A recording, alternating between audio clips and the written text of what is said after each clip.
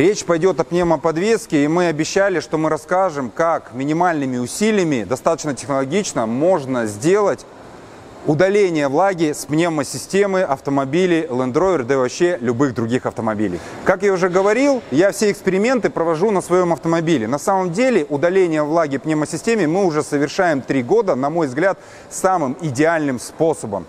И признаюсь, я грешен так же, как и многие другие. В том плане, что почему до этого не догадались раньше. Вообще, в дилерских центрах, ну, я такого не видел, по крайней мере, компании Land Rover, чтобы это делали. Ну, по крайней мере, я не знал, пока я там работал.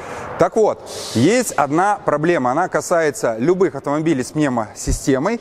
Мы сейчас говорим о Land Rover, о Range Rover. Это наличие влаги. В любом случае влага в пневмосистеме будет. Где-то в баллонах, где-то там в ресивере она оседает, потому что в воздухе всегда присутствует влага. Далее, у нас может случиться иная неисправность. Например, прорыв баллона либо что-либо еще. И у нас получается, что влага прям может в каплевидной форме попасть при замене баллона, либо когда был прорыв, он ехал по мокрой дороге, прям брызги могут забрызгать и так далее. Пневмосистема работы, она может хапануть воздух. В чем проблема наличия влаги? Дело в том, что она проявляется зимой. Дело в том, что влага в каплевидной форме может попасть на механизмы клапанов. У нас есть блоки клапанов, которые электрическими соленоидами приводятся в действие. У нас их три центральный для передних пневмобаллонов и задних пневмобаллонов. Да, у нас есть осушитель, но осушитель, который содержит в силикогель, он работает две стороны. С одной стороны, когда у нас воздух всасывается, он влагу себя впитывает, но он не может ее впитывать вечно. Дело в том, что требуется регенерация, удаление влаги. А как происходит удаление? Когда мы опускаем подвеску, у нас периодически происходит стравливание системы, и так запрограммирован модуль управления системой пневмоподвески. Периодически идет в обратную сторону теплый, подогретый уже воздух, который находится на системе, он идет в обратном направлении. Таким образом, осушитель, который находится силикогель, в обратном направлении идет теплый воздух, уже осушенный. И получается, что он вбирает в себя всю влагу и производится регенерация. Так вот, проблема заключается в том, что если у нас есть влага, то зимой, попадая на клапана, она мешает их работе. И у нас появляются те или иные ошибки. Так вот, такую влагу удалить достаточно трудно. И в большинстве сервисов что предлагают? Ну, мы снимаем какой-то элемент, на который у нас есть ошибка, мы понимаем, что он не работает, начинаем антифризом, а что хуже, спиртом, либо добавляет систему спирт, надеясь, что спирт поглотит в себя влагу, а потом он когда-нибудь выйдет. Так вот, спирт, он влияет на состояние резинотехнических изделий. Так или иначе, они присутствуют в пневмосистеме современных автомобилей. Некоторые снимают и реально снимают ресивер и начинают его продувать. Кто-то говорит, надо заправлять сухим азотом. Да, кстати, можно. Азот, азот особой частоты. Э, есть такой, скажем так, погос первый сорт. Есть еще азот особой частоты. Минус 65 градусов точка росы. И если теоретически его закачать в пневмосистему, то что у нас получается? Что он вбирает в себя всю влагу, а потом выходит наружу. Так вот, господа, на самом деле все уже было давно изобретено. И решение этой проблемы всегда лежало на поверхности. Но так сложилось, что вообще в мире мало кто есть из людей, кто придумает что-то новое. И мы ничего нового не придумали. Кстати, на других брендах это успешно применяют. Как избавиться от влаги вообще в любой замкнутой системе? Давайте возьмем пример систем кондиционирования. Все строители знают, как это делать. Даже когда мы проводим вакуумацию нашей системы кондиционирования, для чего мы ее проводим? Кроме, кроме того, чтобы откачать весь фреон, еще есть функция какая? Мы удаляем влагу. А почему влага уходит?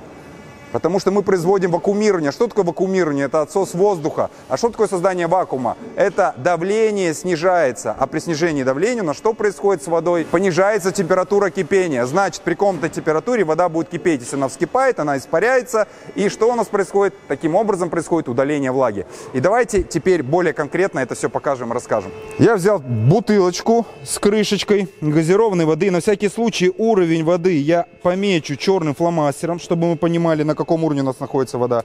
Если представить любую систему вот в виде сосуда, оно в принципе так и есть, то представим, что влага в каплевидной форме вот у нас есть в таком количестве. Что будет происходить, если здесь будет понижаться давление? Ну, давайте так, для тех, кто не в курсе, что такое температура кипения, что такое фазовые переходы, это физика, 7-8 класс. И для обывателя, если мы поднимаемся в горы, вот у нас там как раз воздух разряжен, давление меньше. И вода уже кипит при температуре 90, 80, 70 градусов Цельсия. Чем выше мы поднимаемся, тем эта температура кипения понижается. Почему? Потому что давление атмосферное снижается. И поэтому, скажем так, вода меньше сжата, и поэтому быстрые молекулы образуют, скажем так, вот, более расширенные зоны в виде газа и выходят наверх. И теперь давайте проведем этот банальный эксперимент. Мы даже не делаем все плотно, мы просто подключаем что? А подключаем вакууметр, вакуумный стенд. Простыми словами, это насос, который откачивает и наружу э, выкидывает воздух. То есть тот же насос, только наоборот. Но это вакуумный стенд, который может создавать достаточно серьезные разрежения. И что у нас происходит? Сейчас у нас атмосферное давление. Как только мы включаем, при комнатной температуре с водой у нас происходит кипение. Причем кипение достаточно обильное.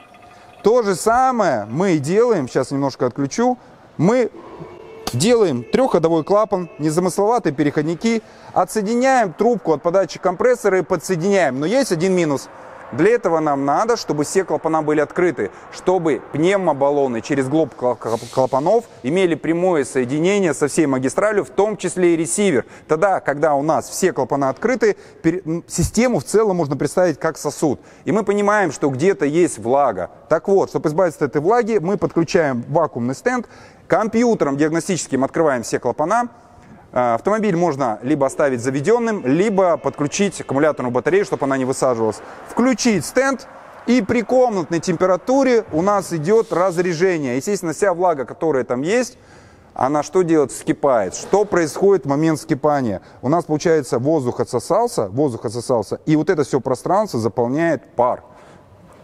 И получается, когда мы продолжаем отсасывать, мы уже отсасываем не воздух, а газ в виде пара, который состоит из молекул воды, то есть ту же воду. И таким образом у нас уровень воды будет ходить, отходить все ниже и ниже. И сейчас мы наглядно продемонстрируем в ускоренной съемке, сколько времени у нас заняло, чтобы там откачать, ну, к примеру, 10 мл приблизительно.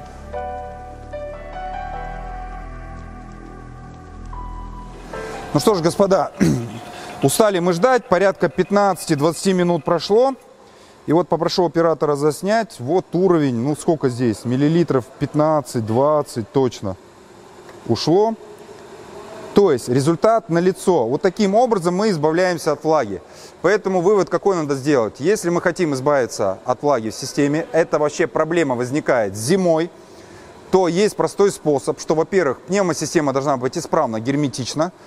Вот. Затем мы подключаемся к системе. Чуть позже мы покажем, как это делается с помощью диагностического оборудования, чтобы отключить все клапана, чтобы все сосуды сообщались. И создаем вакуум.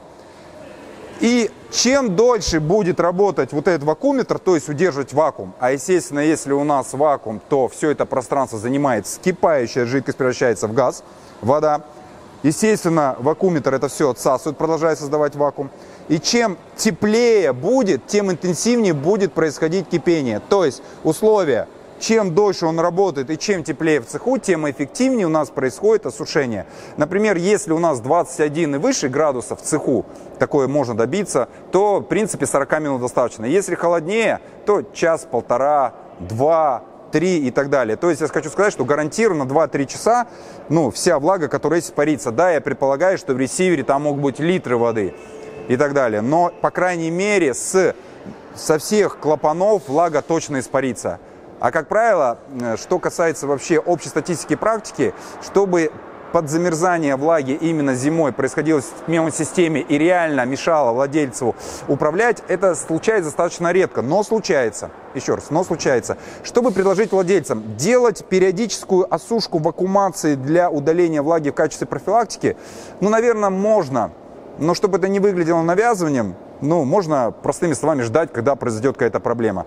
Но когда у вас, допустим, сырую погоду треснул, либо порвался пневмобаллон, вы понимаете, что его поменяли, то мы в своей практике последние три года, ну, как бы владельцам говорим, вы знаете, можно поменять силикогель.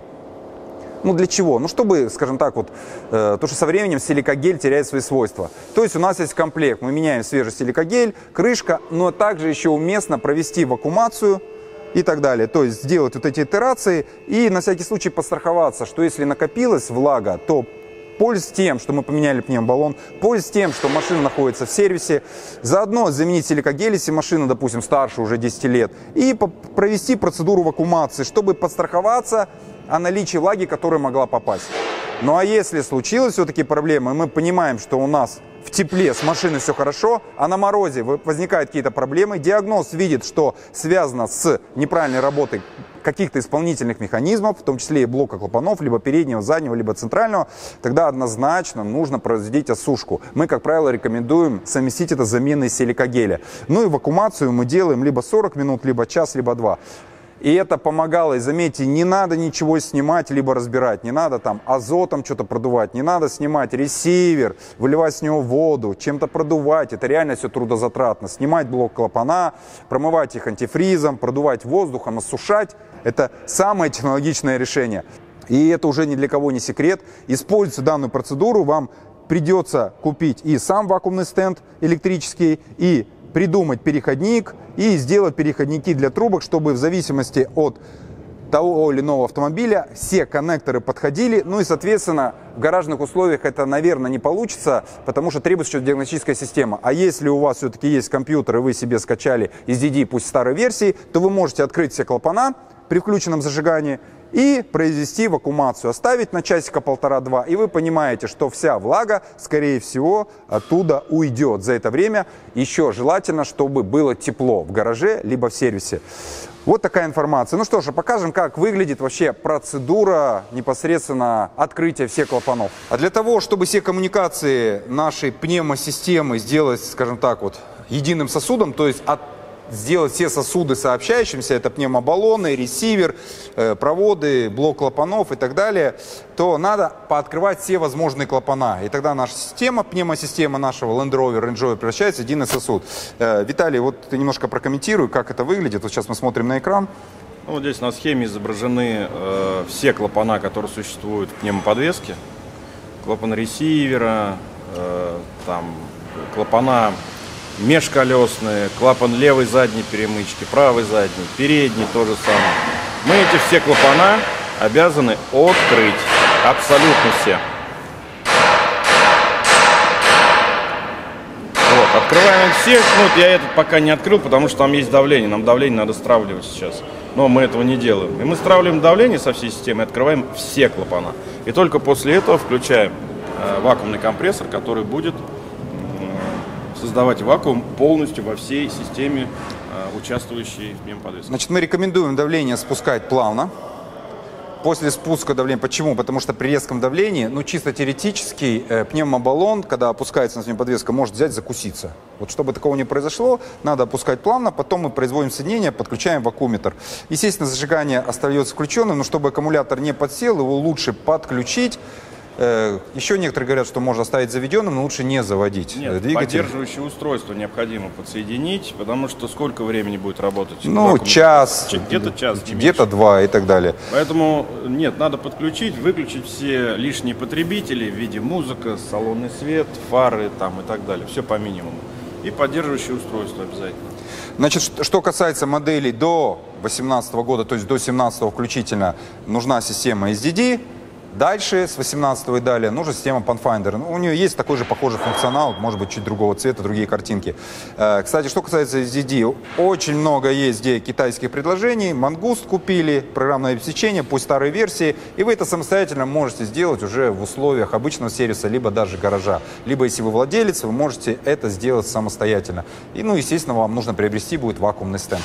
Вот такие дела. Ну что ж, еще раз повторюсь, схема достаточно банальная. И, в принципе, вот это самое, на мой взгляд, технологичное решение. И я сам признаюсь, что мы избавлялись когда от этого. Мы реально снимали ресейвер, клапана разбирали. Как говорится, дурная голова не дает покоя ногам. Так что пользуйтесь данным лайфхаком, хотя для многих я уверен, что это не лайфхак, потому что многие сервисы, я знаю, уже давно это знают и делают, что касается пневмосистем. А вот мы не знали. Желаю всем удачи! Подписывайтесь на наш канал. Кстати, оставляйте комментарии, может кто-то знает еще более технологичный способ. Но мне кажется, уже технологичный, наверное, в природе нет, потому что мы ни во что не вмешиваемся. Кстати, может быть, кто первый раз видит этот ролик, знаете, что у нас есть канал YouTube. Подпишитесь И там мы, начиная с 2013 года, снимали очень много всего полезного про неисправности всех моделей Land Rover. А еще у нас есть канал Instagram. Там есть просто красивые визуальные штучки. Подписывайтесь, пожалуйста, и оставляйте свои комментарии. Удачи вам!